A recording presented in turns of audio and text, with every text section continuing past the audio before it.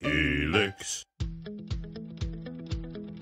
Many of our listeners are likely familiar with the X Prize designed to incentivize moonshot innovations, literally in some cases, but they may not know that the X Prize has now come to and for education. We believe in the strongest evidence possible, and the way in which the gold standard has been set for research is randomized control trials, RCT.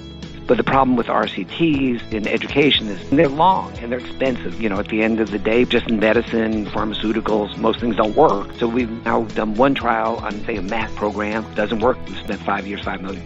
And the contrast, of course, is to what's just gone on with regard to the COVID vaccine. We ran multiple trials, multiple times, and came up with the winning hand. We're a science agency, so we're just trying to figure out the most efficient way for education science to move into the modern world, quite frankly.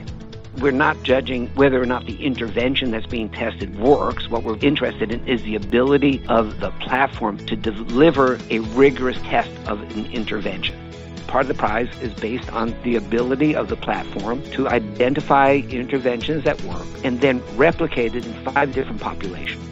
So if it worked in New York City, does it work in upstate New York? If it worked for low-income black kids in Philadelphia, does it work for Hispanic kids in Philadelphia or New York? So we need to identify promising interventions, then we need to replicate them because it's only through replication that we will be able to get the proper fit between what works for whom under what conditions.